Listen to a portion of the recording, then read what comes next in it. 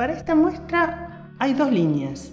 Una, respetando de alguna manera verticalidad, hay otra línea de formas más envolventes, siempre jugando con, formas que dialogan.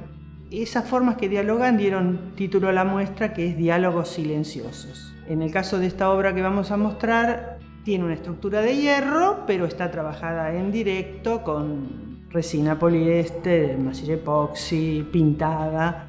Desde el momento que vine a conocer el Whitehall, realmente me encantó, me parece un lugar hermoso, me parece un lugar en el que estas obras iban a quedar muy bien y se iban a realzar y a su vez le iban a dar una vibración al espacio que iba a ser enriquecedor.